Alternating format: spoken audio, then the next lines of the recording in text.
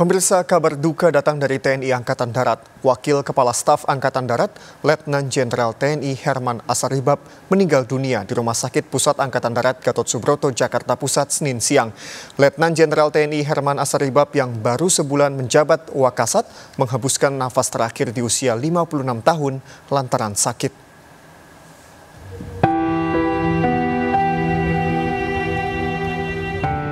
Wakil Kepala Staf Angkatan Darat, Letnan Jenderal TNI Herman Asaribab meninggal dunia di Rumah Sakit Pusat Angkatan Darat Gatot Subroto, Jakarta Pusat, Senin siang. Letnan Jenderal TNI Herman Asaribab meninggal dunia di usia 56 tahun karena sakit. Jenazah dibawa pihak keluarga dari ruang perawatan ke rumah duka RSPAD Jakarta Pusat pada Senin sore. Sejumlah keluarga dan kerabat turut mengantarkan jenazah ke tempat persemayaman.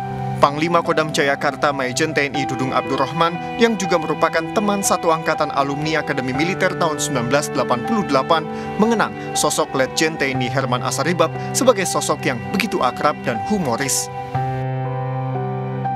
Beliau ini sosok yang paling akrab dengan semua teman-temannya.